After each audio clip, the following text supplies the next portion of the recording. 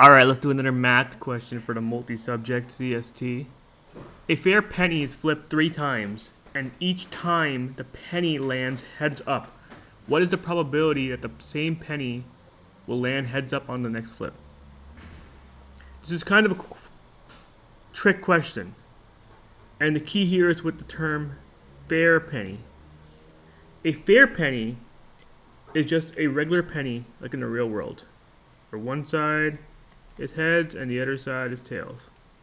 And both sides have an equal chance 50 50. That's what it means to be a fair penny. There's nothing uh, like suspicious about it. It'll act the same as it would in the real world. If you flip a penny right now, it'll land on heads or it'll land on tails. And each side has the same chance. So now it's saying that, you know, they flipped it three times and each time it landed on heads.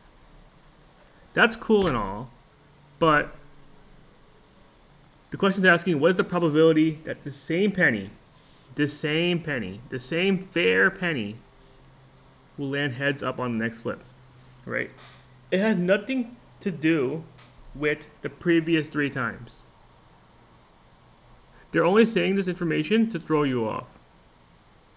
The fact that it's a fair penny means that the chance it'll land on heads is the same as if it would the first time you flipped it. And again, because it's a fair penny, it's a 50% chance you'll land heads and a 50% chance you'll land tails.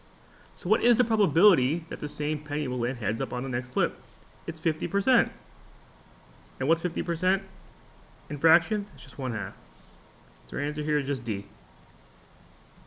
Be careful with problems like these.